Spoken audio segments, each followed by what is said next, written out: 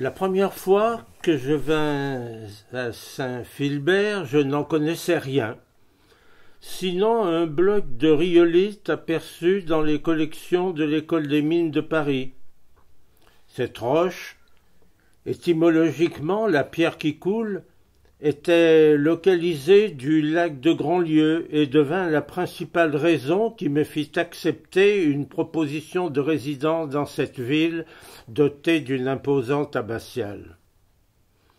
Je ne suis pas curieux de nature, ni spécialement touriste, mais le lac, il est difficile de l'éviter, et il se montra généreux envers moi en m'offrant les sucs de la nymphe blanche Nymphéa alba, qui l'habitait, et une barque qui reposait sur son fond, enfin près du bord, et qui, de ce fait, ne nécessita pas trop d'efforts pour l'en sortir.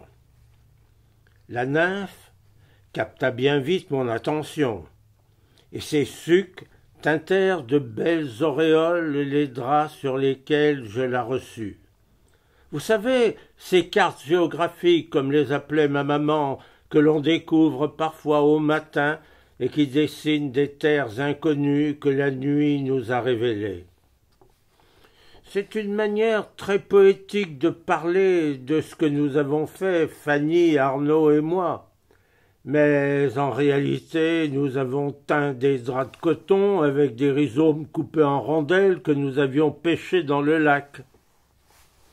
Ah, il n'empêche que c'était bel et bien des sucs de nymphes, et question coulure, la rhyolite qui reposait au lieu dit le sceau du cerf entrait bien dans le champ de mes préoccupations.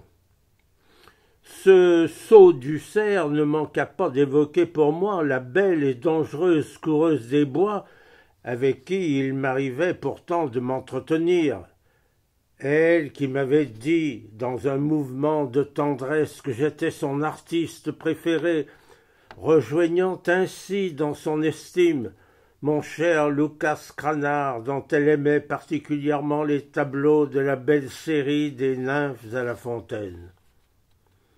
Personne ne va croire ce que je raconte, mais dans mon cas, il ne s'agit pas de croire, mais de voir, et si on m'interrompt sans arrêt, je n'arriverai jamais à écrire les trois mille signes que me demande Arnaud. Je ne suis pas un artiste réaliste. J'essaye d'embellir la vie dégueulasse que les politiques nous font. Alors, laissez-moi vous raconter quinze ans après mes aventures lacustres. Et s'ils veulent en savoir plus, il y a un livre intitulé De l'immobilité du voyage.